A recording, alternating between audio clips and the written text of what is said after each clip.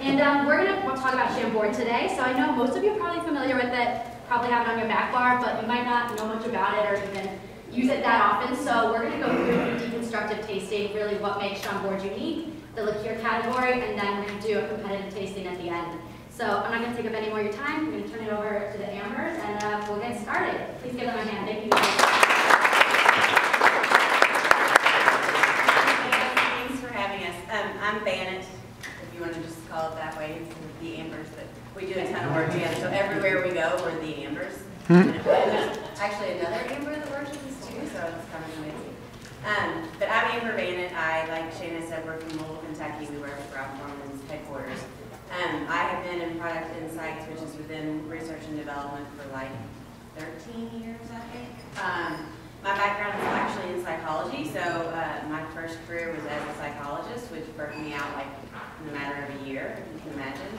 Um, and then I kind of fell backwards into, hey, do you want to work with humans and how they relate to alcohol? And I was like, uh, yeah, that sounds like an amazing way to use a psychology degree. So um, that's what I do now. I no longer do therapy, but I um, study consumers and um, bartenders and learn about their interactions with our liquids and how to uh, best bring that sort of insights to market. So I'm product insights. I work extremely closely with the other Amber, as I affectionately refer to her, um, and her team, who are the developers who actually make our product. So my job is kind of to take the insights from the market, identify white space and innovation opportunities, and then work very closely with them to actually bring it to life um, and make sure that what they're bringing to life matches what our customers um, are looking for. And I am the other Amber. I'm Amber Lamkin, and as um, was mentioned, I'm in product development, and I've been with Brown-Forman for, in three weeks, it'll be 17 years. So, um, so this was my first big girl job out of college. Um, while I was in college, I bartended at a restaurant, and so I know that this could be early for you all, so thank you all for taking your time to come and learn a little bit more about Um, I started Brown-Forman in analytical, so I did all of the analysis that we're going to talk about during the presentation. So worked with a lot of high-tech equipment. Um, was very amazed that some of our equipment cost a half million dollars, and we have a room with uh, probably $30 million worth of equipment. When I think about like gosh, I just wanted a car, and this equipment was how much money? Yeah, a couple houses, yeah. So um, I moved to product development, and it was a uh, just a very bold move because I don't like to cook. Um, I'm very methodical. I have to follow everything. Like so, um, in a bar, being oh, you just make it this way, that drove me crazy. Um, but product development is actually a lot more than just recipes. Um, we make products all over the world, my group does. So there's three product developers in Brown-Forman, and we're responsible for all of the new products that come out if there's anything added to it other than alcohol. So we do not work on straight whiskeys, but Chambord, uh, country cocktails, um, any of the RTDs, honey, fire, apple, all of that was developed within my group. Um, so we started. Um, we want this to be very relaxed, so if you all have questions, just shout them out. Um, any comments, anything that you want to add from your experience, just feel free to shout out. I'm not formal, and, and if it is formal, then I'm going to get like super nervous, so the more informal that we can be, and if I can maybe drop a curse word now and then. but- Do it. I am going to feel way better about things. Don't Fuck worry. yeah. Don't make me. Yay, thank you. That helps my nerves a lot. So, um, yeah, we're going to dig. I'm going to kind of lead the pony, and Amber's as she mentioned, is extremely technical, and we'll make sure that she fills in all the details, that's in the live details sometimes. Um, but what we're gonna do is we're gonna kind of take you through, um, the production process, and we're gonna kind of smell and taste and experience this Chambord liqueur in its deconstructed state, so that you really learn more about the product, and then hopefully can find new ways to use the product. Um, do you guys have Chambord at your bars? Do you use it? How many of y'all use it? Everybody? Not as many. Not everybody in the room. How many knows what it is? So everybody knows what it is. How many people use it?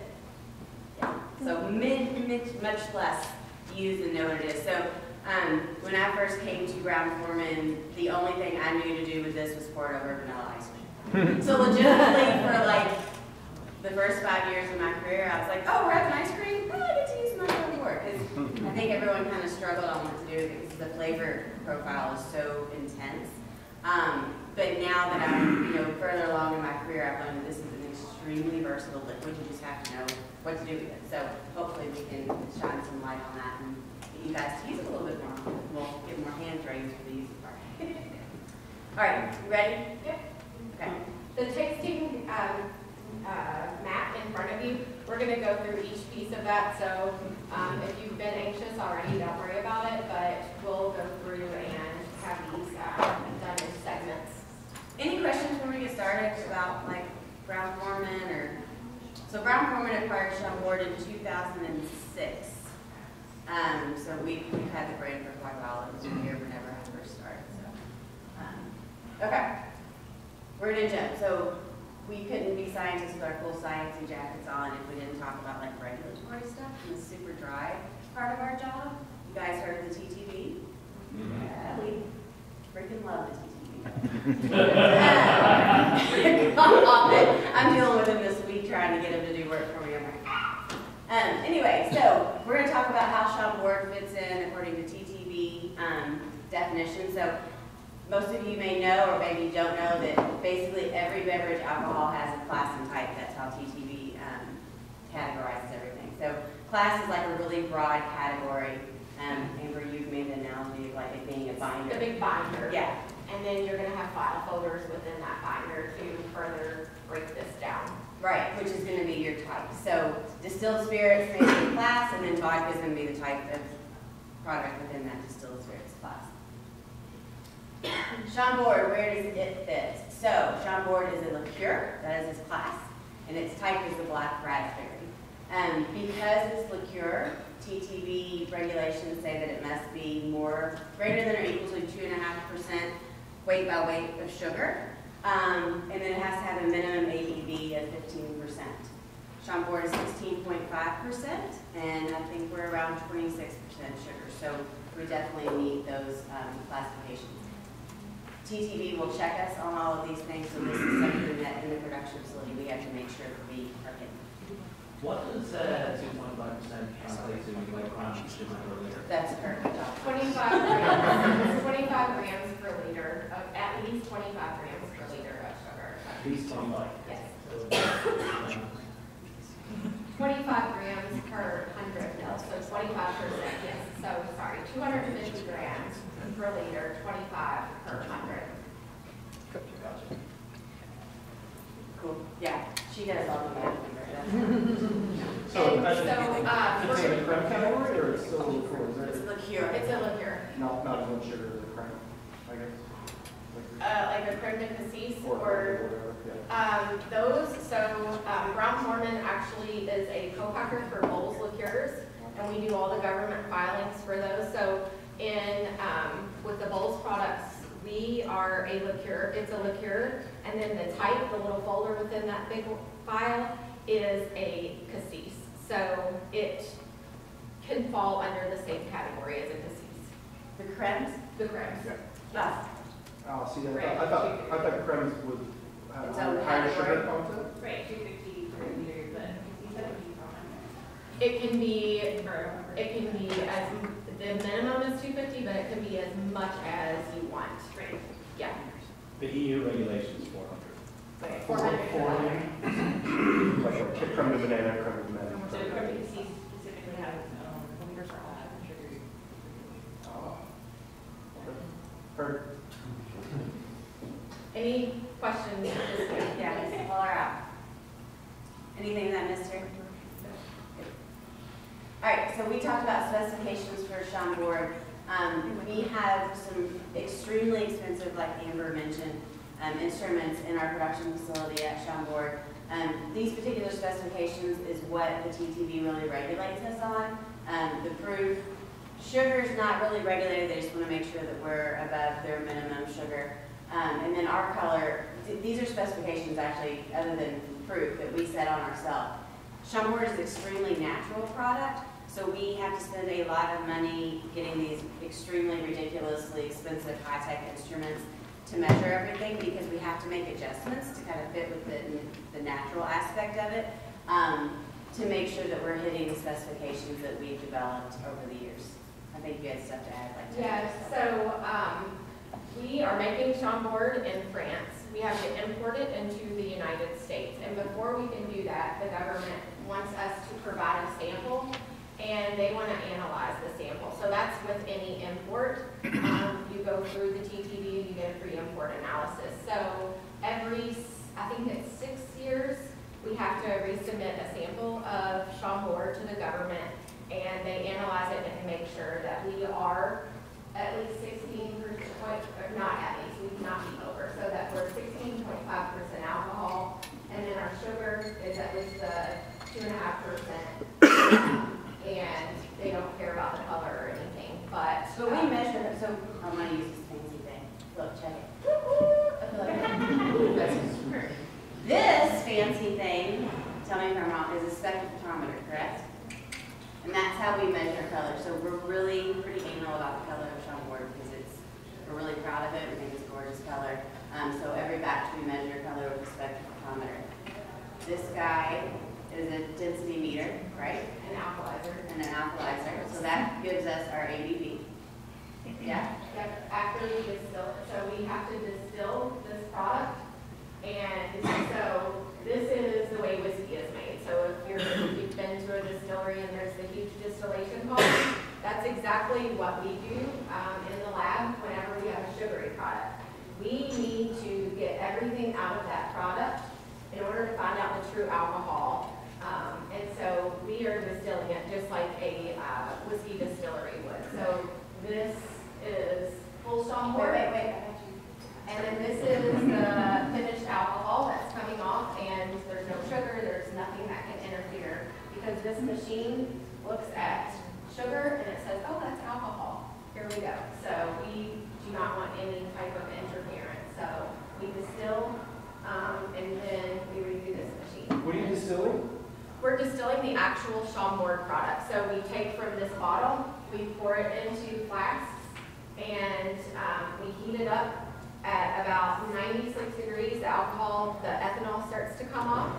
And then this machine has a infrared, and it is taking that alcohol, and it is reading um, based on a gauging manual. So that's something that the distilleries use um, a lot because they don't have to worry about the sugars, but um, we just distilled all the sugar out. Now we have a gauging manual inside of this machine using it as its brain, and it will tell us the true alcohol.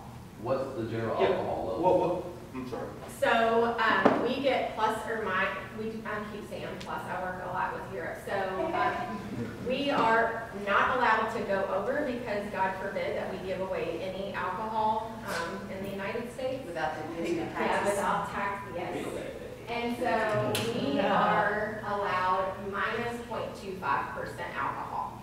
And so um, the government actually goes out within stores and pick, they pick um, products, not just from Florida products, every product, and they will do spot checks. And if you are under or over, they will come in and um, this actually happened to us. They got a product and it was over by like a point oh oh something. And they came in and they sat with our QC and they ended up learning that the instrument was not set on a right um, method. So it was, yeah, it caused a lot of gray hair, but at the end of the day, it was a great learning for us and also for the TTB. What, what are they distilling to get the alcohol to make Chambord. So you take, basically, you're taking Chambord, No, like no, what? no, he wants to know what alcohol. and we're gonna. What's the base beer? Oh, good question. We'll get there. Wait, You're you're on the future. totally putting the, uh, cart before the horse or whatever. that- Yeah, we're gonna get there. Quality control, quality. Yes, this is. Yeah, we're just talking about this boring quality control stuff right now. I love it. And She does too, so. this is my, this is how we ensure that from batch to batch, Chambord is going to be the same, um, within these, um, standards. So, um, my group will decide what standards, and this is going like pretty technical, so forgive me, but, um, I do love this part. So, hang on, let her do her thing. we test for alcohol, so we develop the specifications and then we give them to Chambord. And Chambord has to test this each time. Then we also receive monthly samples back from Chambord to make sure that our instruments aren't differing at all. So alcohol, um, density, so um, the alcohol is obvious. The density is going to tell us, is there the right amount of sugar in the product and is the alcohol right? Well, we're doing the distillation to feed the alcohol, but the density is telling us is the right amount of sugar going in. Um, we look at pH, so that's monitoring the acidity. Um, this product, uh, does not have this, but we also look at titratable acidity. So we use, um, sodium hydroxide, put it in the product, and it's kind of like in your science lab where the litmus paper would turn blue or red. Um, that's what one of our machines does, and that tells us if you're adding acid. So if you have a country cocktail, and you've added acid to it, is the right amount of acid going in there. We don't have to do that for this. Spectrophotometer, color, um, that's what that machine is measuring. There's another machine that looks very similar to this, and it's measuring the turbidity. How cloudy is the product? If a, if a product is cloudy, um, there's particles suspended in there, you're not necessarily gonna see, uh, particulate. But over time, as the products, as that weighs down, it's gonna be in the bottom of your glass, so, or your bottom of your bottle. So juice is very cloudy on that machine. Um, if you have juice sitting around, you have stuff in the bottom of your bottle afterwards. And I think that's, those all the specs? So, um, there's a lot of behind the scenes work going into making sure that your product is a quality product. Each time that you open a new bottle, you're not gonna have to re-describe any of the taste profile of that bottle.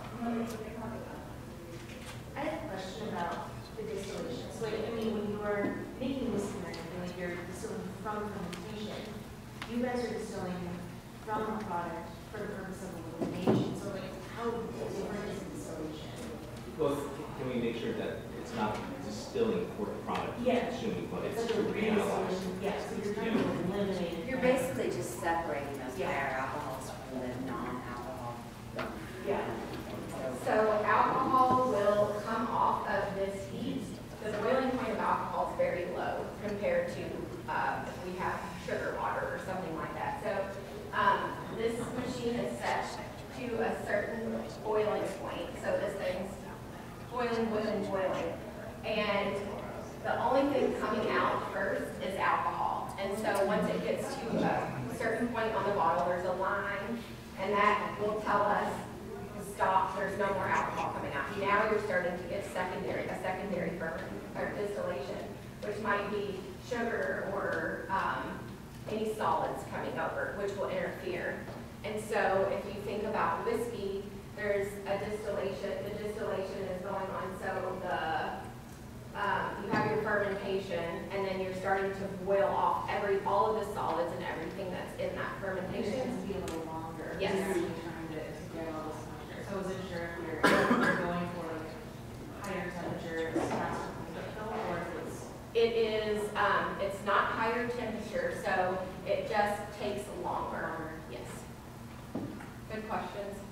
All right, so I have a question, uh, talking about like the color, is there like a certain like color, like point you're reaching for, like, uh, like a DuPont, like paint coat, or is there like a variance in it, because obviously you're dealing with natural ingredients, not all black are the same black, and like you adjust because of like where you Yeah. source them or seasonal? Yep, Yes. we have a color target that's measured on the spectrophotometer through absorbance. Okay. Um, and so we've got, I don't know how, how plus or minus it is, but there's a color target that we blend to And we've got to make changes to the blends a lot in order to hit that target because of the variability in the berries. So, um, the sensory group has shown that the, the human eye can't see a difference in color, plus or minus minus two percent. So we'll set our color range based on several blends of batches. Um, and then we can go plus or minus minus two percent. Um, if we were dealing with some of our other products that we add caramel to, um, Jack Honey, we add caramel to that. If our color is with, uh, is out of that spec of plus or minus two percent, then we can add color back, or we can refilter to take some of that color out. But this product is all natural, so if it is out of spec, then we write a variance and we put it through a sensory panel to make sure that you cannot see the difference um, it's not over, if it's over that two and a half percent and it's out of spec, then we want to make sure that the panel cannot tell a difference. Y'all totally pulled her technical change. She's gonna geek out on us now. all right, any other questions about all this technical stuff? Before we move on to kind of how it's produced and tasting the different This little machine is about $150,000. let you know. We have four of them on that, so, yeah. We will give you our address. All right, so we're gonna jump into the production. So, um, you may or may not know, all of Chambord is produced in the Loire Valley of France. Um, at a very, very beautiful site where the Chambord Chateau sets. Um, there is a, a very old and beautiful building where, um, Chambord is made. There it is. That's the chateau. But you see the gorgeousness of it all. Um, so basically, there are four main components that make up Chambord. Um, there's this neutral alcohol base, which are actually neutral French spirits, um, is what we're actually distilling off. You had asked that question earlier. Um, that we add some sugar to, and that's kind of our base of Chambord. Um, to that base goes into a berry infusion. We have flavor concentrates, which we'll talk about and taste, um, and then cognac. So we're going to go through each of these four different components, but basically, when you think about Chambord, these are really the building blocks of the Chambord liqueur.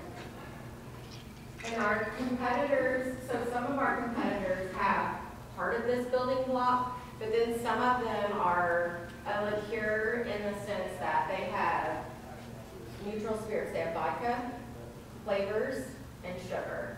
And so it's a, it's a liqueur, it's a very generic liqueur, so, um, they don't have the craft, craftsmanship that Chambord has. So, um, the whole point of this is, is to inform you a little bit more about the process, so, um, also want to inform you how we're different than our competitors. So, um, Razzmatazz is one of those. They, I was like, I wasn't gonna say it, but you're gonna get to experience one of those vodka Yes. sugar flavors. yes, Are you guys the only cognac-based, uh, liqueur? as far as I know, yes. So, um, looking at the competitors that you all have, they do neither, uh, of the I three. thought, maybe not. No, um, they do not have the additional brown spirit of cognac added. Nu- Neutral alcohol is with grape, is that what you're distilling? No, we're, um, we are distilling its grain, so it's not. That's my question, Okay, yes. Great. okay. Yeah, so, um, we're kosherable and, um, we're not because we're not grain. Yes, You guys distill all of your own, or you don't import any neutral spirits, or you distill it all yourselves? we are not distilling, no. Okay. So we have a, we have one supplier that we are purchasing, um, all of our neutral spirits from. Then we also have identified a contingency supplier if this, if anything ever happened, so. Those suppliers make France, right? All are in France, yes. Yeah, they're, they're French neutral It's the spirits. same with the cognac, too? Same with the Yeah, cognac, yes. yeah. Okay, so let's dig into each of these components. So, like I said initially, basically, the building- the base building block of Chambord is this French neutral grain spirit, um, and sweetener. So the first step in the process is we kind of create this base by mixing the neutral spirit and the sugar. And that's our building block to which we're gonna add the berry infusions, the flavor essences and concentrates in the cognac. Um, so it's basically just our blank slate for building Chambord on it. Um, we use all natural granulated sugar, no high fructose corn syrup at all in this product. Um, we're really proud of all of our natural ingredients. We know it's expensive, but we think it's worth it in the long. Miss anything here? All right, so the most important piece of Chambord liqueur is the fruit infusion. It is what makes Chambord Chambord. Um, so the fruit infusion is, consists of raspberries, so this is all on your all's, you know, in case anybody hadn't had a raspberry recently, but. Anyway, raspberries, super sweet, um, hello small little hairs, for those of you who are not familiar with raspberries. Blackberries, little bit more tart, they're a little bit shinier, they don't have those little hairs on them. And then the black currant, which we had to get dried black currant because it's not available in this area. Fresh currant. Um, if you aren't familiar, it's extremely tart, very aromatic, um, got a lot of tannins in it. It's very drying, kind of, if you taste it. You can taste these, but I think they're significantly sweeter, these dried ones are, than what the fresh um, are. But that is basically the berries that go into Chambord liqueur. It is very raspberry heavy. These other ones are added to create more of a complex and more depth into the flavor profile. Um, we source all of our berries. We have suppliers that we work with in both the northern and the southern hemispheres because we want to make sure that we have a continuous supply of fresh berries. Um, so when the north gets cold, we head down south, and when south gets too hot, we head up north. Um, We've got a significant number of farmers that we work with, um, that we've quality tested throughout the years. I think, I don't even know how many off the top of my head, but, um, these farmers are basically work for Chambord and they grow the berries for Chambord. So they're held under really strict, um, quality parameters as well for our berries. Um, So the, the berries themselves are a raw ingredient for us. So a raw ingredient might mean, uh, might be a flavor. So we might have a cola. And we test that every time that it comes in. Um, we look at specifications. So we, with the farmers, have developed specifications on the berries. So whenever we buy the berries and we get our shipment in, we will analyze those. So, um, we analyze them for the uh, sugar content, we analyze them for the number of berries that are broken, like as nerdy as that sounds. Um, we want our, we want our berries to be whole. Um, we get more of the, um, more of the fruit notes coming out. So uh, whenever we're doing the maceration, which we're gonna talk about next, so we can only have a certain percent that are striated, they're broken. So yeah, it's pretty, that's a little nerdy above my level. Production facility in France or in the US? In France. Okay, so those are all the berries that go into making fruit infusion. So now we're working on this first little jar, which we'll talk about in a minute. This is how we make this, which is actually the fruit, the Chambord infusion. Um, so like Amber said, all of this fruit comes whole. Um, it's inspected. Experts that have been been making Chambord for 15 plus years know what to look for. They approve the batch. It's all loaded up into this big venomatic type tank um, to which we add 28% neutral spirits. Um, and that is, actually, we've determined through nerdy research and development methodology that 28% ABV is like the best ABV to get the best fruit extraction. You go too high and you start burning up the fruit, you go too low and then you, you don't get enough of the extraction, the essence from the fruit. So, So this is an infusion like you all might make on your bar for a special. For tonight, we're gonna infuse vodka and pineapples. This is the infusion of raspberries and blackberries, blackberries and blackcurrants. So this is exactly that, it's a very drawn out process. and we have a proprietary proportion of each of those different fruits that we put in there. Like I said, it's raspberry heavy, but we know it's X percent raspberries, X. Um, so basically, all of that gets put into this big venomatic container.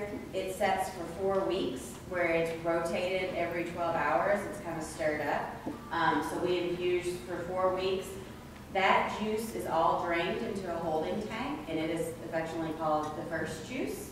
It stays there, the liquid piece of that. All of the fruit is still in the, the um, venomatic, and at that point, we add more fresh alcohol to that, and it sets for another two weeks, and is rotated out for another two weeks.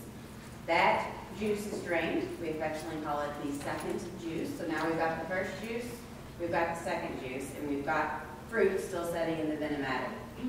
six weeks later. And at that point, um, that fruit is macerated, so it is all squeezed, every last ounce of juice, and flavor, and compound that we can get out of the fruit, we get out. Um, and that remaining liquid is called the third juice. So we've got first juice, second juice, third juice. We've basically gotten every bit of oil, essence, flavor that we can um, out of these berries, and all of that takes about six weeks. Um, How does that not sound as long as bitter components if you, there's the alcohol extraction and then press it, seems like you should get any kind of like. I in that last compression, Or to be a process, but sure.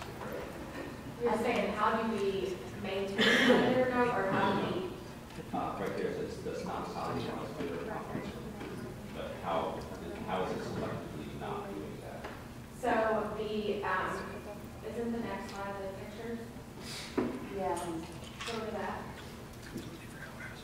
Yes, so there, oh, this one doesn't show, um, there's an auger, and it is pressing just so delicately that it isn't pulling every single component. We are looking more for the sweet aromatics and the, the sugary notes. So if we were pressing hard, we'd get the skin and everything, and that's where a lot of the bitter notes are coming from. we used to have a picture of this Oliver thing that does the pressing, it, that was pretty good, actually. I, I might have been a little bit dramatic, and I should have. Are you saying? Not that impressive. Get all the good stuff out and leave all of that skin, that bitter skin stuff is left behind. Uh, I think that's actually, wait, wait, hello. Whoop. I think that's actually like kind of a picture of the middle of the maceration yeah. process, yeah. So it's, it's still kind of together. We haven't completely destroyed the structures of the product. So this is loading the fruit, so we receive the fruit in these huge bundles, and now we're unloading it, and it is being carted on an escalator to the machine where it soaks. This Um, is, No, are you gonna talk about that? yes, this is Fabian Golet. Is that his last name? He's been there for over twenty years. This dude does nothing but make Chambord. He is our master. He has his hands in every single piece of the product. Yeah, So. He's kind of a badass. So in this picture, actually, he's taken all these different juices and mixing them together to make the infusion that's gonna go to that base block. Yeah. So, like you said, you, you guys analyze the sugar content of compounds long before you macerate.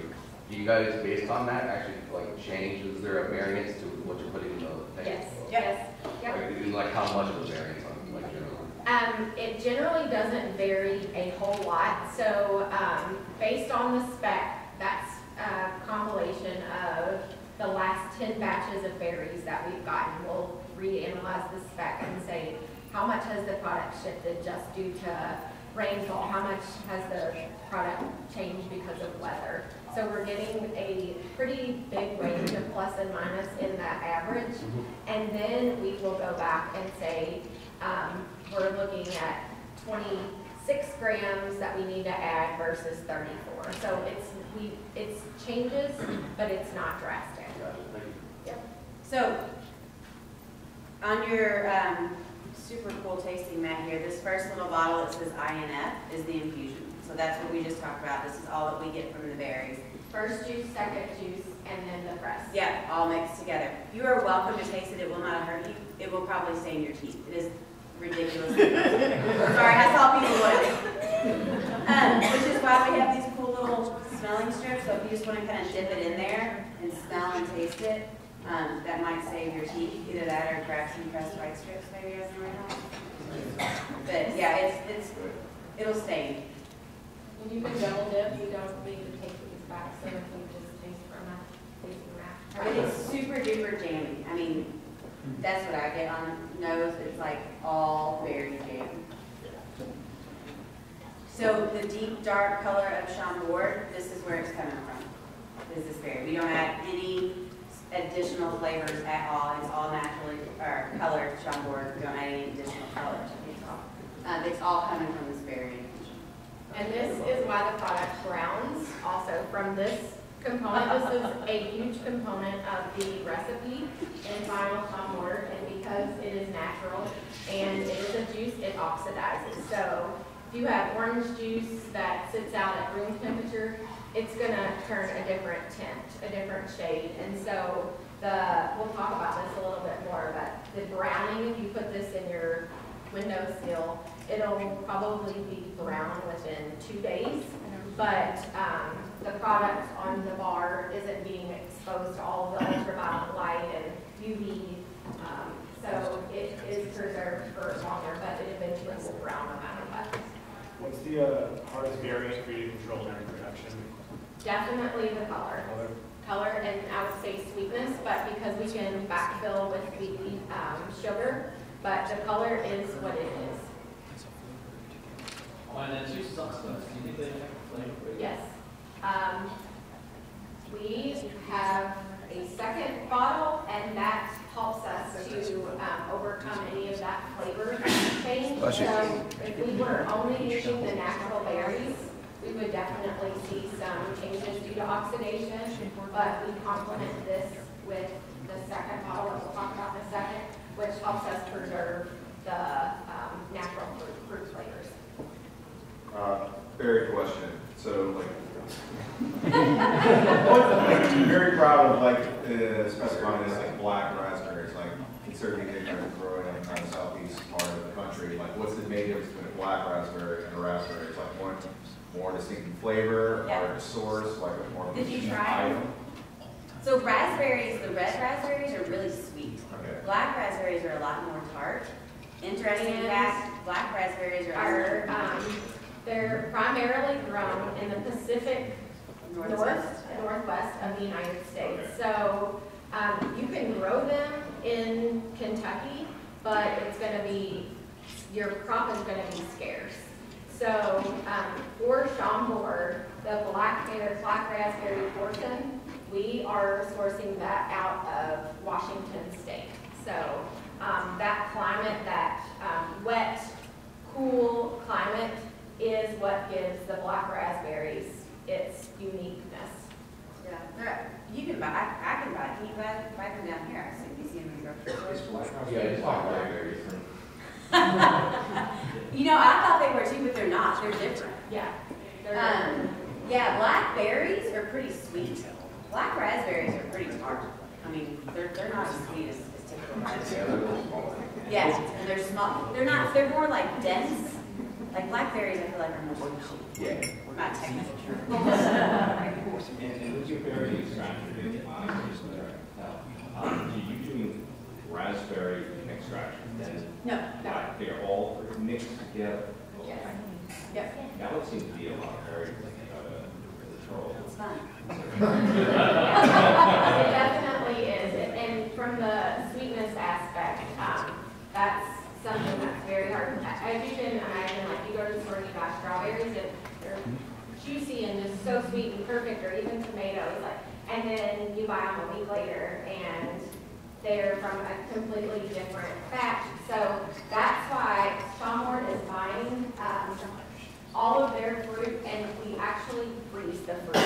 So we buy hundred and twenty tons of fruit, and we freeze this fruit. Um, another cool fact about freezing the fruit is whenever you're breaking down the frozen compounds that, um, are in the fruit, you're actually getting more of the aroma, more of the sweetness that comes out whenever this is thawing out.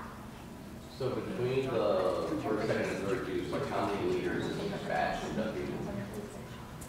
How much, how many liters of juice come out for Yeah. kilos? Oh, Lord, I don't know, a lot. I can't- Gallons, I can't like big, remember. Um, ten, five, ten gallon tanks. We had that in our original presentation, and my boss gave that to some people at work, some marketing people, and they were like, holy shit, that is so technical. So, we We took killed out, yeah, and of course, you are asking the question. Uh, These guys have been, what, your? Yes. No, it's good to know, we need to put that in. So yeah, it clearly it's a natural product, it's not oxidized. Do you guys take any steps or are there any additives that you do add to sort of arrest that oxidation? No. So as Amber mentioned, and we'll talk about, there's other components that I mentioned that go in called, we call them concentrates, with their flavor essences, and we use them um, to kind of backfill for some of the variability we see in the berries, and we use them to add complexity. Um, I, they add a little bit more stability to the product than if it was 100% juice but we do not add any preservatives or anything like that. So it's, it's gonna brown. I mean, we're not gonna lie to you about it. It may take a year, but it's gonna brown eventually. So even adhering to your strict color specification, you do not add anything?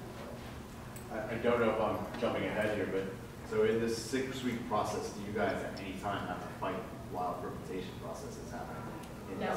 No. because of the alcohol that's added at twenty-eight percent, it is, um, it's acting as a preservative, so any alcohol over about twelve percent will act as a preservative, and we won't, we won't get any of that So secondary. you're pressing this with alcohol Yes, introduced? yeah, Okay. at, uh, twenty-eight percent, right? Got Yeah. it. Yep, yes, yep. That keeps any fermentation or Yeah, that's what I was wondering. micro if this stuff without- at bay.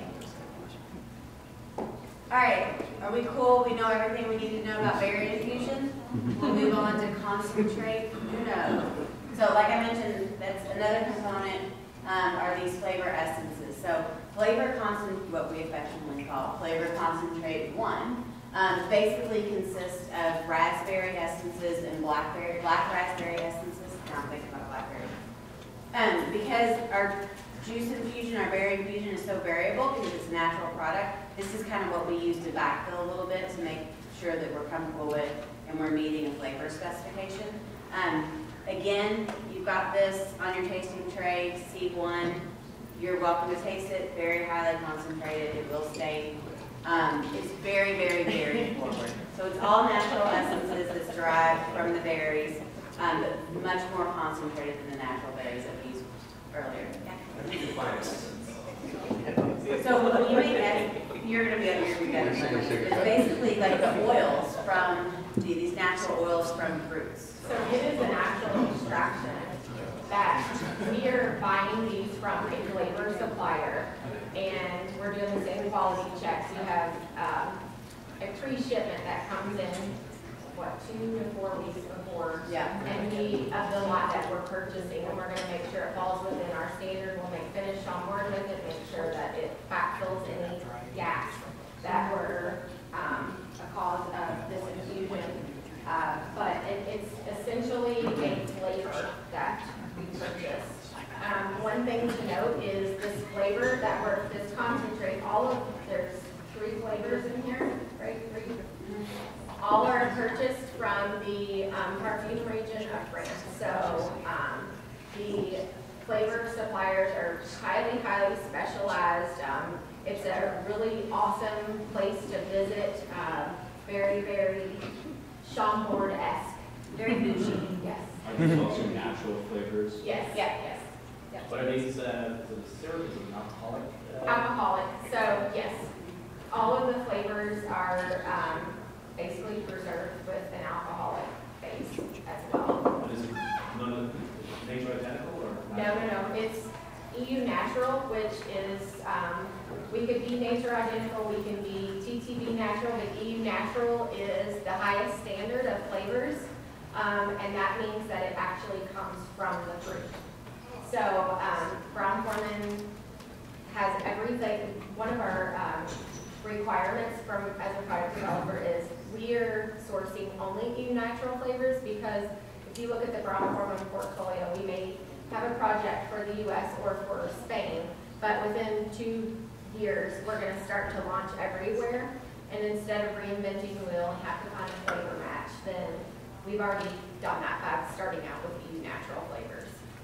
Basically, you've got flavors that come from the actual product that are natural, and you've got flavors where I can take chemicals and mix them together, and it smells like apples. And we don't mess with those. Those are not form. We use the ones that actually come from. This is how I learned it, being not.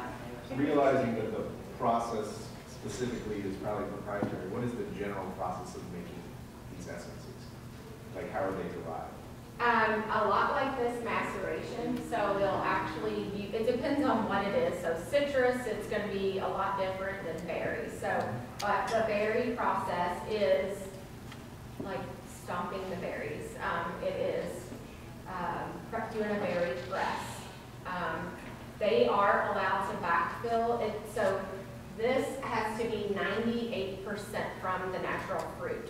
But they're allowed to backfill with not vanillin, but vanilla. They're allowed to backfill with two percent actual, um, natural compound, not compounds because that's chemical, but natural products.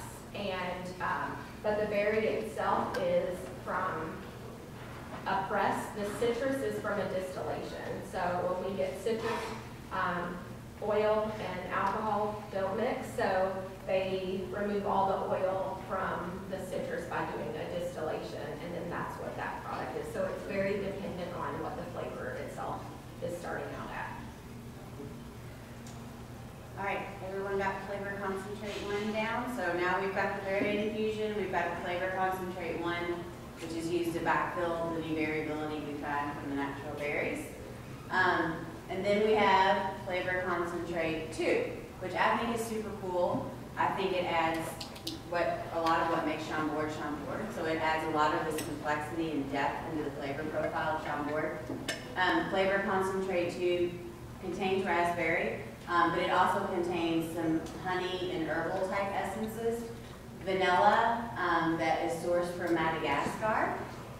Um, Moroccan citrus peel, which is citrus peel from orange, tangerine, tangerine, tangerines and mandarins. Um, and then it also contains our cognac we add to Chambord as well. So this is what we call flavor concentrate two. Um, there's a bottle, you'll notice it's brown, so this is a lot of these brown notes. Um, I think this smells amazing. You can really um, kind of get that honey and herbal and those complex back notes that you get when you taste the Chambord finished product. Um, also, I think you guys have, excellent, oh yeah, on your tasting mat is the cognac that we add to the Chambord by itself. So you're welcome to experience the cognac and taste it. We'll, I'll talk a little bit about the cognac piece of it as well. So the vanilla that um, we are using, well, just vanilla in general, is an orchid. So it's a flower. Um, there's uh, flowers like sunshine and the right amount of rain or whatnot. So two years ago, we had a terrible vanilla harvest, and the price of vanilla for Brown Forman increased by about 200%.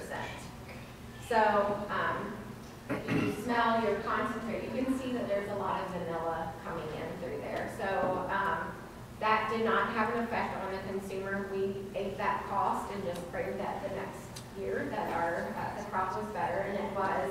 But um, vanilla is an orchid, and it is very, very um, specific in its growing region. So it grows about, um, I think it's plus or minus five degrees on each side of the equator. So um, having the Madagascar vanilla, that's pretty artisanal. Um, it's something that you could say, it, one of the competitors could say they have vanilla, but Madagascar vanilla is something that um, we're proud of to put in our product. There's vanilla beans, if you guys are not familiar. Um, Probably smell it. Really nerdy question, which, which vanilla is it, Concordia or? I, Too nerdy. It's Madagascar. I actually have no idea, that's interesting, we'll have to look that up. You're asking about the specific genre of vanilla? Yeah. or- Yeah, cool. No, no. Um, are you allowed to say where you guys source the cognac from? Spike? Are you allowed to tell us where you source the cognac from? it's from France. It's France. Which cognac house? Are you allowed to say which cognac house you No. It's France. It's right here, you can say you taste it, and it's from France, but I can't. I just Googled, Brown Forman doesn't go to cognac. We do, we do not own cognac. Yes, you're, you're correct. Uh, Speaking of cognac, so we do, I'm sure that you guys are very familiar with the different kind of categories of cognac, VS, VSOP. We only use XO cognac. So that's the one that has the XO is extra old. That's the cognac that has the most barrel age on it. Um, used to be six years, now it's 10 years minimum for XO cognac. Um, this is the XO cognac that's on your table that we add to Chambord. I- really need that extra barrel notes. It's such an excellent complement to those sweet and tart berries. It really rounds out the flavor profile. Um, when we can get all that vanilla and all that toasted oat and everything you get from Sweet all the time material. So, um, we're pretty damn picky about our cognac, um, and we think it makes a huge impact to our product. So, cheers to cognac. It's on your table. Cheers. If you all have ever seen the Chambord brown in your bar, it lends itself to a lot of this part of the flavor system. So, um, the infusion will start to turn and lose some of its red. It, it, it inherently just, it turns brown, but a lot of what is left is this part seeping through. Has there ever been a conversation about trying to market some of these, uh, separate extracts, you know, uh, they- they're delicious, they're gorgeous. From my side, no. Um, Shayna, do you know if there's ever been any talk? No, I think, I think it's interesting. Yeah. This number two is delicious. Would be an absolute bargain. It's great. As like a tincture type thing? Just use it as sweetener and like, uh, Um, we will take that back. We will take that on, I like that idea, that is really interesting. It's kind of cross promotion. Yeah, yeah, it's kind of cool. I'm just thinking about like how Woodford has some bitters and stuff like that. There's something very. It's a lot, yes. I like it, don't let us forget about it. Okay. Um, thanks, Jazz, that was awesome. Okay, so we've got the components of Chambord. We've got the base, we've got berry infusion, we've got concentrate one, concentrate two, which is our cognac. So we've got all of our pieces. Oh, we're gonna have of Chambord. So now we're ready to blend. So remember good old Fabian? Blend, he's the dude that comes in and he blends to his flavor profile specification. So he has got to check all these different components for every batch of board that's made. We have a standard recipe with give or take, based on the naturalness of the product. And that's all based on um, Fabian, his nose, his palate. Um, Like I said, he's been doing this over 20 years. All he does is make Chambord. So um, he takes the alcoholic base, he adds the amount of infusion that's needed, the amount of concentrate that's needed, and there you have it, that Chambord hot raspberry liqueur. How Chambord's produced annually? Like How much? Mm, how many cases? That's a really good question. I don't know. Honestly, don't know. It's not a huge brand, Yeah, that's why I'm like curious. um, which is nice because we can maintain some of that craftsmanship and artisanal aspect of it. And it's distributed like worldwide.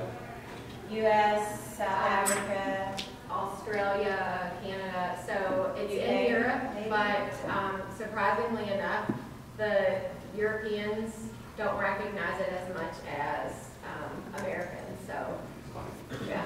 I don't know how much worldwide distribution there is, but it's definitely global um, in, to some respect.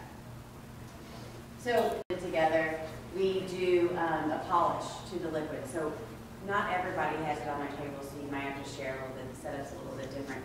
But there's these little 100 ml bottles on your tables that are examples of pre-filtered liquid, liquid and post-filtered liquid.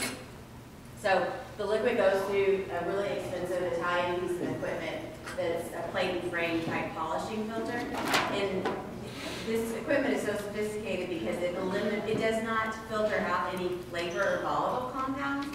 It more or less polishes the liquid. Yeah, if you hold it up to the light, that's going to be the best way to see uh, the difference, is just hold them side by side. So the pre-filtered liquid is kind of cloudy and murky, and then if you look at the post-filtered liquid, it's more vibrant red and it almost looks shinier, which is what happens with this filtration.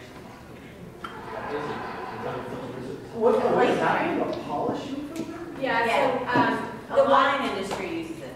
What is, what is, what is? It's a, um, so this is the filtration. It's right there. And It's called a plate polishing because there are several plates in this filter. And the liquid will pass through the first one and it's gonna catch stuff. But then, then it will go and pass through the second one and catch more. So it's, it's a What is very. filtering? Is this a charcoal, this is filter? Uh, what- what- It is a It's a mesh, It's a screen. screen mesh filter. Metal? Metal. And so we are, um, with this filtration, we're not taking it through one tight pass of a pad and and filtering out all the flavor. We're going through several steps of a semi-loose filtration in order to preserve the flavor go and the color. Um, but we're going through so many passes that we effectively remove any type of um, fruit remnants or what have you. So particulates. Yes. And it really does, you can see in those bottles, it really does polish it. I know that's kind of a generic goofy term, but it's like a lot shinier red in the post filtration. Um, In the lab, we call the post-filtration, we call that a clear product, even though it's not clear. Um, if we're talking about something that's clear as in water, we call it water white. But if we look at the two side by side, we'll say, oh yeah, this post-filtration is clear. And whenever we were talking about the technical instrumentation, um, the instrument that looks like what we measure color on, it actually, it's called a, um, turbidimeter. And it's actually measuring how turbid something is. So we have a spec on our turbidity.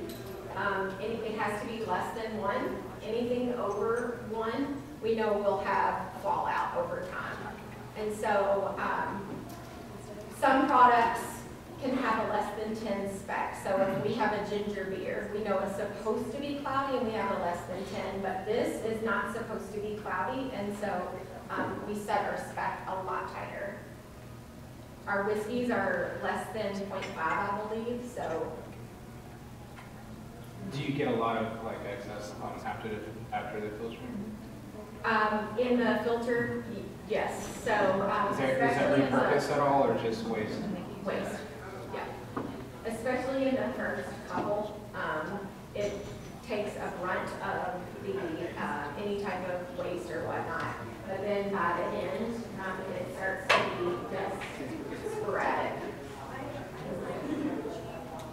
And these are the examples of the sheets, and you can see it does look like, a- if you think of this like a sieve, um, that's what this type of filter is. The wine industry uses the same filtration system. Yes. It's really big. Good lighting, right? Okay, so we've got liquid, it's been filtered, it's nice and shiny, ready to be bottled. So, bottling goes into the filler. Um, this, I'm gonna say it wrong, this morning, Chrono, Cronus, Krones machine is the labeling machine. Um, so the Chambord bottle has like five labels on it because it's round. Um, quite a few labels that need to be applied. It's all done with this Krones machine now, super high-tech, um, machine for the labeling. However, that being said, once the machine puts on all these labels, there's a double QC check, so there's literally people sitting on each side of this bottling line, and there are two people that will pick up every single bottle to make sure that nothing is wrong or out of place, or there's no bubbles. Um, a lot of times in these big kind of production facilities, you'll have like the Laverne and Shirley sitting there and they're jabbing the whole time and they'll grab a bottle every now and then. It is a little bit over the top at Chambord, um, because there's only like 15, 15 people that work there. They only run one shift a day, that is all they make there is Chambord. Um, they are extremely passionate about their product. So Laverne picks up one and she looks at every single thing and it goes down the next and then Shirley picks it up and looks at the exact same thing again to make sure Laverne did this. So I went to Chambord a few years ago, and um, I'm used to going to our RTD facilities, and in an RTD facility, we are canning or bottling about 650 bottles or cans per minute. So it's like, this was so painfully slow. Uh, I, I thought that they were just doing this so that we could see the process, but when I'm talking about an assembly line, like, people say, oh, at Ford, it's redundant, you need to switch jobs, like, it was like, Yeah. and so, when, if something is messed up, or if you see something, a sticker out of place on your bottle, probably a collector's item. There's a lot of, um, human eyes and touch going into this. Yeah, they all put these little booklets, um, that are on all bottles, all by hand, so, um, Laverne or Shirley one does all that. These are cool little booklets too, you can get a bottle of board, they've got some cool recipes. Um, So the painful plastic that used to be on that bottle. Do you guys remember that cage type thing? That was all done by hand by the owner, Shirley, not by the machine. And so their poor little hands were just calloused from doing this over and over again. And so, um, this machine is, uh, pretty state of the art for the industry. Um, if you look at escalators, they're, they're made by Chrome, so it's a very redundant type of, um, this type of manufacturing, this brand deals with a lot of redundancies of elevators, just things going on, and so these labels are going over and over and over. So, um, at, in Louisville, we just upgraded to this brand, so it was like a huge, huge deal when we did this. Um, speaking of the, the cage, so when I first started, um, years ago at Brown Forman, Sean Board had the cage, and do y'all remember the little crown that sat on top? Um, so we revamped these, um, and a lot of that was through bartender feedback and consumer feedback. Um, the crown, so funny, interesting thing that we learned recently is the, the so this liquid and this has like a major history, like 1700s type of thing. Um, and this is actually supposed to be reminiscent, and I'm going to really butcher this, but globus Brin- eh, the orb with the cross on top, the Christian, Christian symbol, that like kings that kind of show that God was ruler over the world. Cruciger. I was like, I know I'm gonna butcher this. But this is what it's modeled after, this bottle, um, especially when it has the crown. Um, and so anyway, it's, it's supposed to be reminiscent of like kings and their rules of the world, is why it's got the world, the orb, and then the thing on top. And there's a lot of colors, so like purple is Rainbow, royalty, yeah. and, yeah, so, um, that's part of the history of the color as well. So it was a gorgeous bottle, um, especially when it had all the hand-applied crowns and the cage on it. Um, I was actually part of the research that we did, that we got back and people said, yeah, it's awesome to look at, but it tears the shit out of my hands when I'm pouring it all day long, your beautiful cage. And when I get my shipment in, half the time your crowns will break off. So, nice try, try again. So, um, we did a lot of research and got a lot of consumer feedback. We felt it was, Brown Forman felt it was really imperative to keep the orb shape because of the history and the ties to the Chambord. I get that it's not easy to pour, um, which is why I think everyone gets to go home with these awesome additional neck pours. It gives you something to hang on to.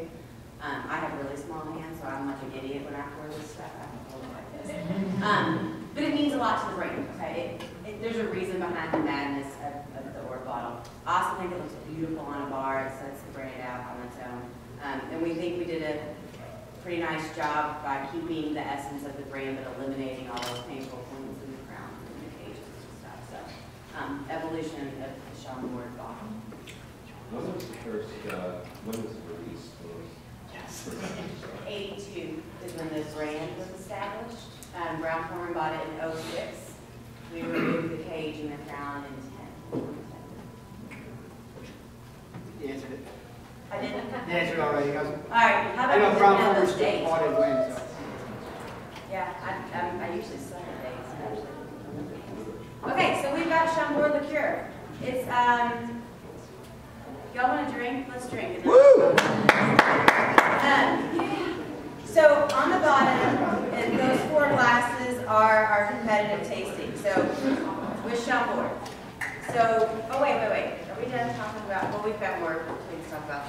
We'll do it in. Um, But since we have finished product, we made it, let's toast to it. So Chambord is in the green circle. So taste it again with new eyes and a new palate. Try to pick up those different flavor concentrates that we've seen on its own. The berry infusions, the cognac, you can taste all of these pieces now. You can go back and reference, um, each individual piece and see how each piece contributes to the final product. Which, um, which citrus is wrong citrus in the sample? Is it lemon, lime? It's It's tangerine. tangerine. Orange. Yeah, well done. I paid attention. Is that? Yes. Oh. This is dried, um, citrus. Yeah, here's your citrus peel. So as a reference point, you can go back and you can kind of smell that in the Chambord. Let's,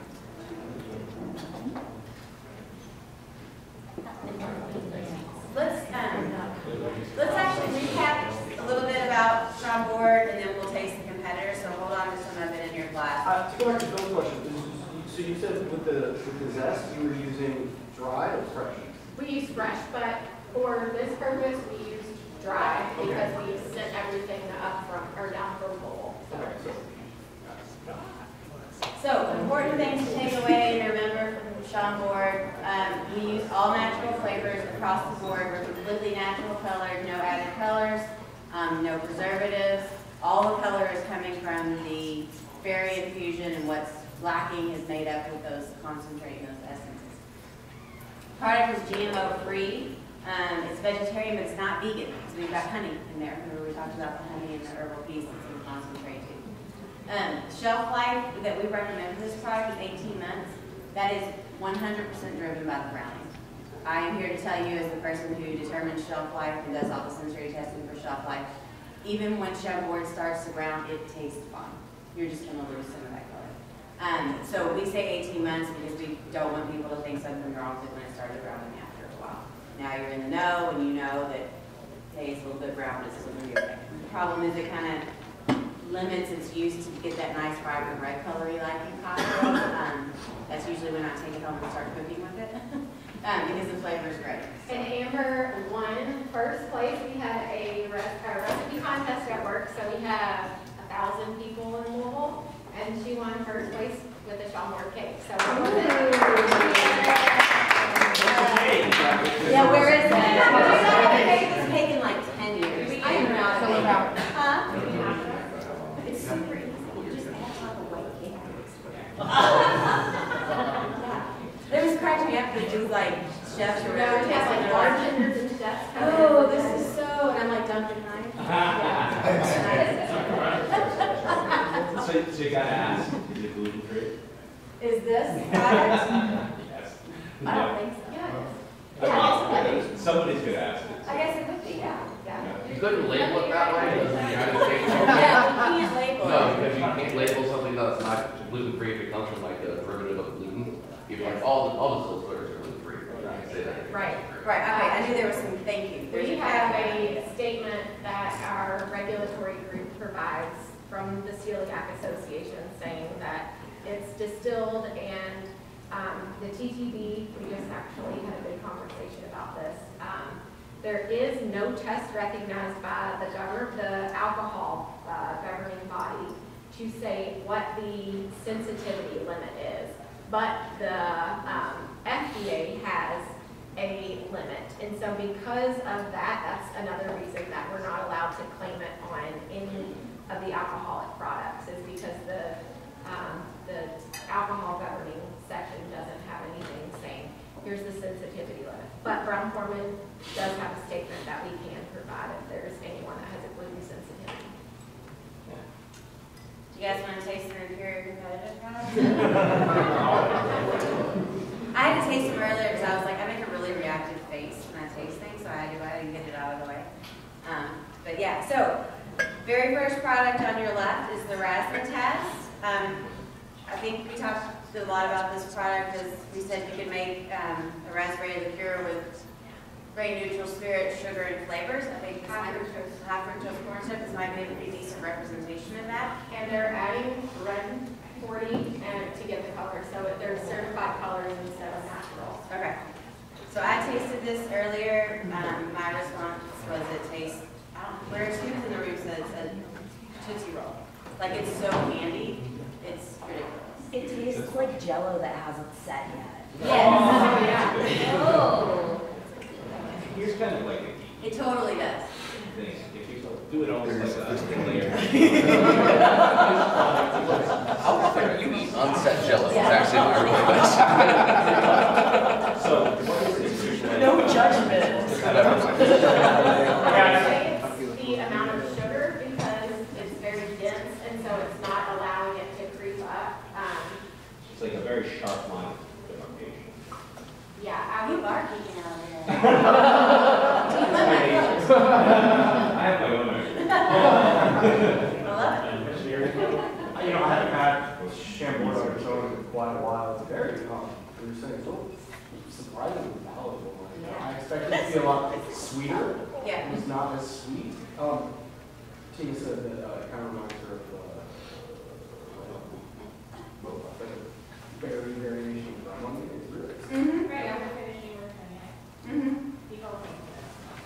Okay, that's a.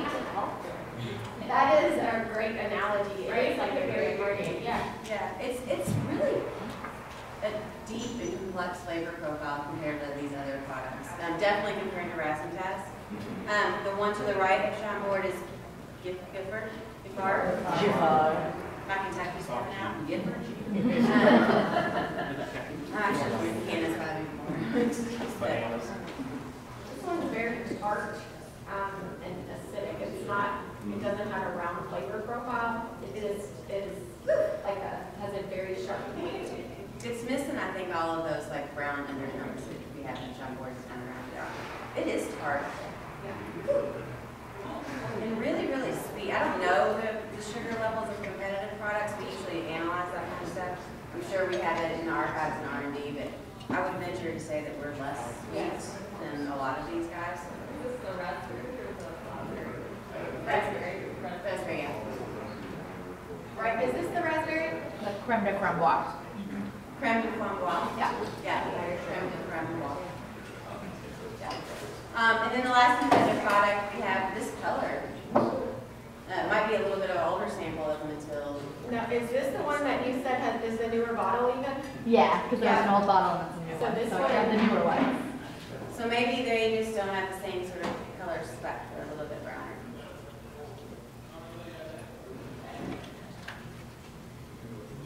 This one's not very berry forward to me. Yeah, it's almost like a dry, dry, there's something in there like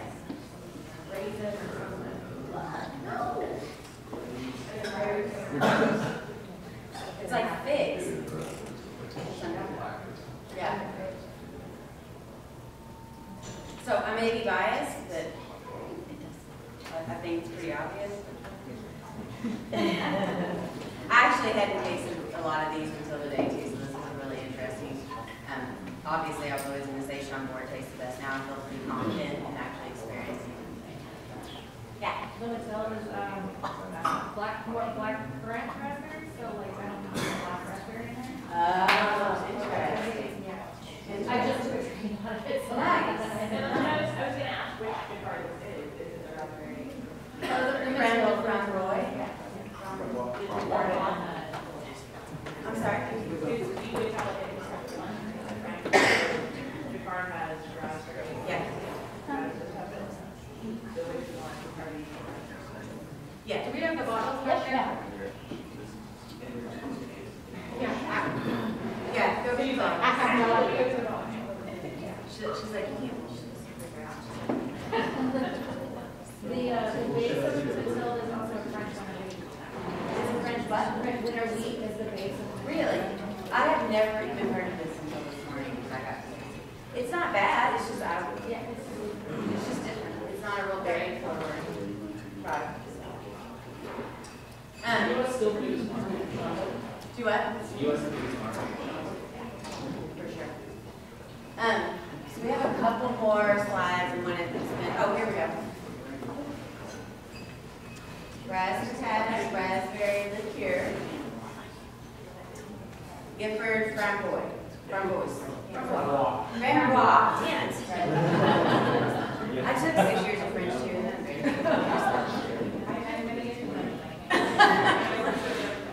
Yeah, my boss is French, and she's like, don't ever say French. Duly noted. Um, yeah, so here are these bottles. And then this one's still. This is from Wild. It's got raspberry. It's also higher, higher ABV.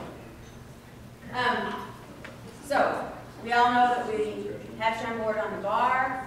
We all think it's a pretty cool product. Um, how the hell do we use it? Which is the story of my life and what I wanted to know. Um, digging into this and learning more about this brand, it is hugely versatile, okay? Um, much more so than, than one would think, I think, thinking about it. So, this is our flavor wheel for Chambord. Um, big components, berries, obviously is your biggest piece. Sweet aromatics from your honey and your vanilla that we add. That herbal blend that's in flavor concentrate too, adding a little bit of these clove and cinnamon um, sort of notes. Definitely get the cognac, the spirit. And then the black raspberry, red raspberries, and black currant make up this sort of berry portion of the flavor, portion of the flavor profile. So if you kind of look at this flavor wheel and think how, what mixers can I build or what cocktails can I build to kind of complement these flavor profiles, this complete eyesore here pops up. So, I know, sorry, it is what it is. Actually, there's a takeaway that has mixers there for you. But basically, um, looking into this product and looking into the flavor wheel and complementary mixers and everything, um, we really learned that any sort of basic classic cocktail can just be elevated a level with Chambord. It literally works across the board. So when you're talking about like um, whiskey sours or old fashioned or other classic cocktails, um, you can add Chambord. It works. The cognac in it comes out. It really pulls that piece of it. It makes a really nice complement. It balances the sour notes from cocktails are balanced by the sweeter notes in Chambord, so those go hand in hand. Um, kind of this herbal component of the Chambord flavor wheel works really well um, with caipirinhas and with margaritas. I think that's what we're drinking on today is a black raspberry margarita. Um, so it's just your basic basic margarita with an addition of Chambord. Takes it to a different level, a little bit different experience and twist. Um, the complexity of Chambord still lends itself really well to those sort of notes that are present in those cocktails. Um, these sweet aromatics, these honeys and vanillas, work really well with these sort of tropical type drinks or cocktails. Um, mojitos, um, anything with rum really works well, pulls out those sweet aromatic notes. Obviously, Chambord works great for um, these really indulgent cocktails. This um, chocolate covered raspberry is essentially a white Russian with Chambord in it. It's, she's a white Russian drinker. Anything cream makes me want to vomit. But rumor has it it's really, really good. And it's a really cool twist. You have to be careful when you do add Chambord to cream. I'm sure that you all have experienced this. It will curdle. Um, there is anything that has milk fat and you add acid to it, so the natural acid coming through the berries, it, it's like oil and water with cream. And so it will curdle. Um, if you just gently stir, it is not um, horrendous. You might see a little bit on the side of the glass. If you shake, um, and as it settles, it will be larger um, particulate. But it's fine to taste, it's just not pleasant to look at. So just use caution. Um, anything like the half and half or the heavy whipping cream is going to do it more because it has a higher milk fat content. is it one of the biggest cocktails for you guys in the eighties, the nuts and berries? Yes. Yeah. Yeah. We didn't own the brand then, but it still exists. Um, and then I think we're gonna, is this a Bramble that we get to taste now? Cream type cocktails, like the Bramble, um, really work well to pull out some of those really refreshing beers. So believe it or not, this Chambord actually works really refreshing cocktails. Do you, who uses it? Does anybody have cocktail recipes they use in their bar to use Chambord? I'm just interested in real life. I don't know, where it's sort of, anytime I do any sort of renewable creative variation, like, you want something that's sweeter, but you still want really good notes, so then I go into corner, and Perfect. Oh, we just had those this week, um, and they were so bitter, that would be all. Yeah, I mean, I think it's a cool twist. You're not ever gonna use a lot, it's never gonna be your base spirit. But to add a cool twist on the thing, or knock the edge off of some of these really bitter, hard cocktails, um, it's, it's literally the perfect kind of added. I think it's interesting that the perception versus reality with this beer, because I see some older people in this room finally like me, so they remember nuts and berries, and they remember Chambord on the back bar in the late eighties and nineties, and they just got this perception of this sweet syrupy thing that no one used.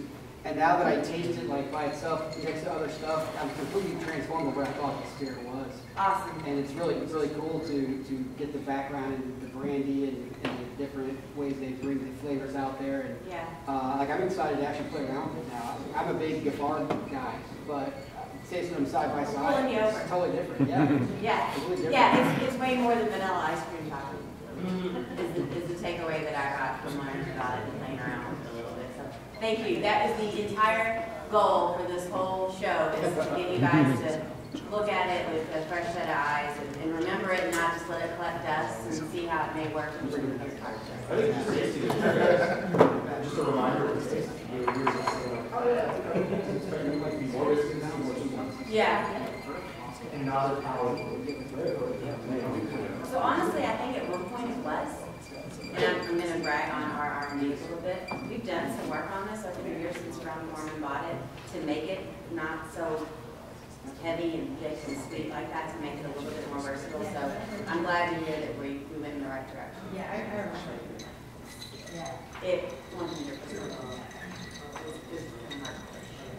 Yeah. I don't know if you guys can answer this, and I know you guys talked about the packaging changes, but was there a drastic change in terms of the flavor recipe when you guys took it over, or is that something that's like house secret, or?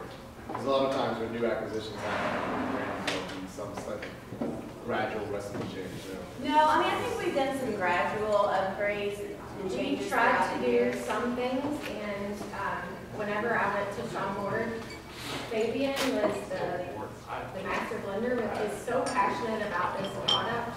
So we were talking about the maceration, like, well, we've seen, um, problem sourcing berries, and in order to eliminate this, why don't we put more flavor in? And I, he was yelling, like adamant that he would not change the recipe. I know that we did reduce some of the sugar, the added sugar that goes in, but other than that, I do not know that we've done anything. And even if we wanted to, I don't think that it would really take after we would have left the building because he's so passionate. So in their lab, they still have a bottle of Chambord from when Brown Forman bought the product, and they will refer to that, like, if we do that, this, this you know, will go away, or whatever, so there, he and, there's about four, um, technical people that report to him. They live and breathe this brand, so. So yeah, it's, it's changed a little bit, for the better, I think, to make it a little bit more versatile, but never made it. That is true, Fabian would literally freak out. if you. This is a gin room? Huh? Is this gin? Ford's Gin. It is gin, okay. Oh, I was like, what? Are we doing what, shit? I forgot you guys got a brain What other questions do you guys have? Yeah? Um, the uh, sugar by weight, is that, in compared to measuring sugar content by grams, is there a difference? And does that equate to grams? So Brix is total solid, so if we are measuring Brix, alcohol has sugar in it, so it will pick up that number as well. Um, if we want to just do a sugar content by Brix, we use the distillate. So, um, not the distillate, the distillate is the product with all the alcohol. We use the product left over in the flask, and that's everything but the alcohol. So, um, we can do, and it's called a, um, de-alc Brix is what that is, if we want to just look at sugar by Brix. And so it should be very, very comparable. So if we're adding two hundred grams, then that sugar by, the Brix number should be two hundred. Okay.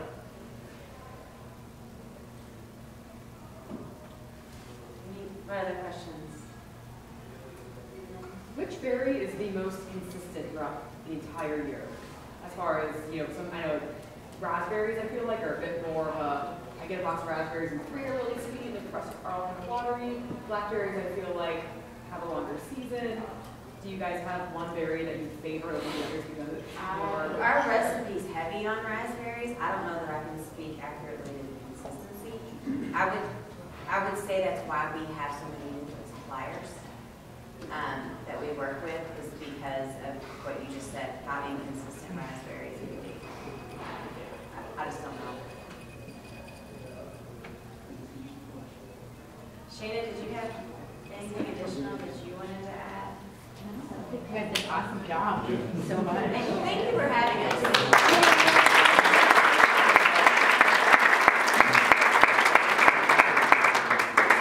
Yeah, it- It's been really fun on our end too, because we had, we work across our portfolio, so obviously we're familiar with Chambord, but maybe not as familiar as some of the other brands that sign our paycheck a little darker than Chambord does. So, um, it was pretty awesome to really dive into this brand and really learn a lot about it, and I think it definitely increased our passion for it, so it does the same thing.